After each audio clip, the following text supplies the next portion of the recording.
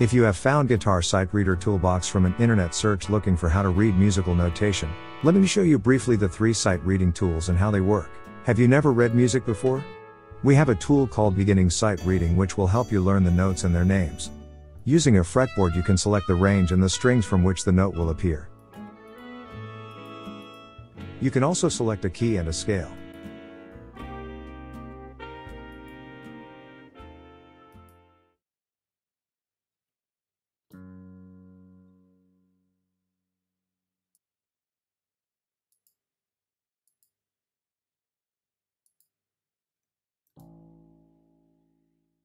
For more advanced players, you can also use this tool to test you on reading and finding chords.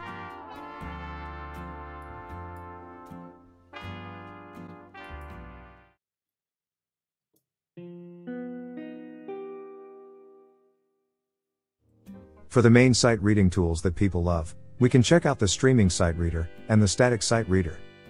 First up, we need to set up the options page. Here you can create exactly how you would like the generated music notation to appear. Select the range, the key, the rhythms, the ties, sharps and flats, the chords, and the key signatures here.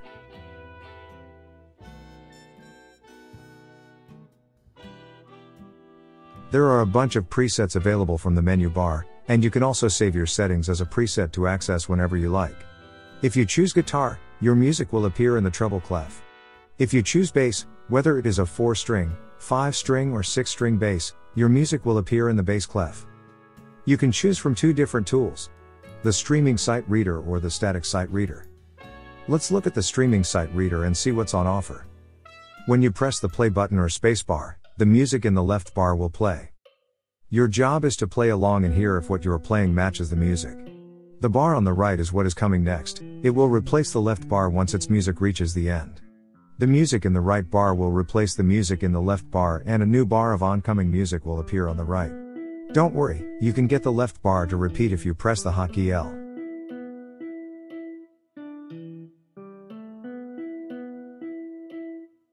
If it gets too difficult, slow the tempo down, And if you are really struggling, you can click the text box here so you can see the name of the notes or chords.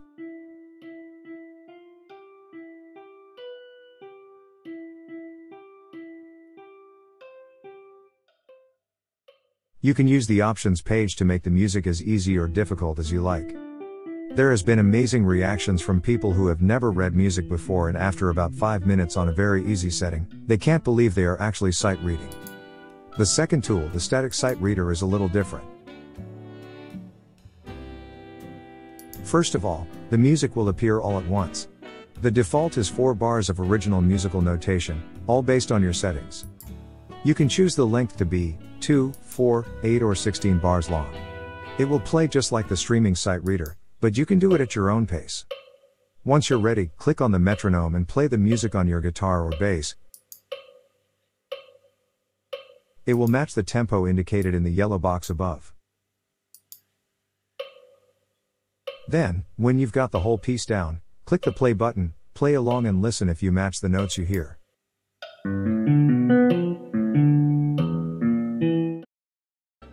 The other benefit of the static sight reader is the options to print the music, so you can take it on the run or give it to students. There are emails received from players all around the world about how they've passed their sight reading exams when before they got a definitive F.